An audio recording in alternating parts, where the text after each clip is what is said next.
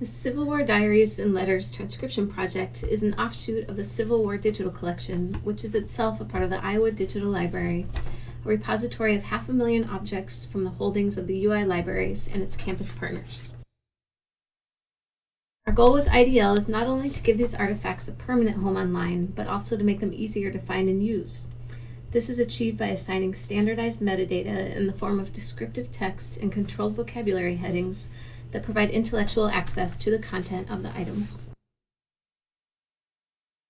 For typeset materials, the metadata is further enhanced through the process of OCR scanning that creates an underlying text file to enable full text searching.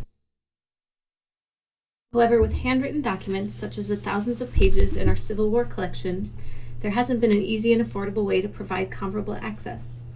When it comes to browsing and searching for information, there's little improvement over consulting the physical artifacts. The digital versions require the same time consuming work to decipher the text page by page, with each researcher repeating this effort from scratch. Libraries have traditionally lacked the resources to manually add transcripts on the necessary scale, but this has begun to change with the development of social media tools enabling user contributed content for crowdsourced textual analysis projects. Two of the most successful examples are the National Library of Australia's site for correcting OCR text from historic newspapers and the Guardian Newspapers Project to review Parliament members' expense reports. With a few libraries in the U.S. conducting crowdsourcing experiments on a smaller scale, the Special Collections Department here approached us to ask what it would take to launch a project for Civil War transcripts. When we did some research and replied that we'd need about $50,000 in major grant funds or a year or two until one of the funded efforts trickled down into an open source tool, Special Collections then counteroffered no money and not much time, so instead we put together our site, which we created by mostly bypassing the programming component.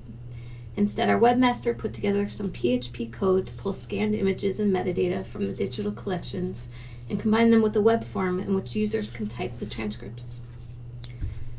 Submitting the form generates an email delivered to a departmental inbox, which a library staff member reviews, enters in the page level metadata record through our digital asset management system, runs an index, and then the data is live and available for search and display.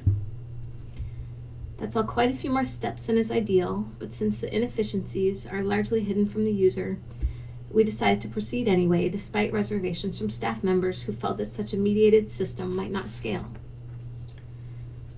Some staff also expressed concerns about the quality of submissions, and this issue actually showed up later on a Chronicles of Higher Education blog post about the project, with some commenters arguing that the masses weren't qualified to do, do the work since they lacked the necessary historical background, others responding that imperfect access was better than none at all, and still others arguing the primacy of user engagement over data enhancement.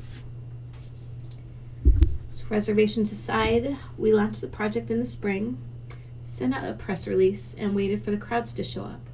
When they didn't, we continued to promote the site among historians and caught a break in early June when the American Historical Association featured it on their blog. Then the next morning, we received a message from Reddit.com, a social media news site, suggesting that we increase our bandwidth since they'd be featuring our project in a post titled Things I Learned How to Participate in History While Sitting on My Ass by Transcribing Civil War Diaries Online. We didn't know enough to take this advice seriously until a few hours later when our servers were completely overwhelmed by Reddit users. By the end of the day, our web stats had increased about 7,000%, shutting down not only the transcription site and the Civil War digital collection, but also the entire Iowa Digital Library. Things have calmed down quite a bit since then to a smaller but steady level of submissions. We've gotten a lot of positive feedback from our users who have nearly completed the diaries, so we recently added over 5,800 pages of correspondence to the transcription site.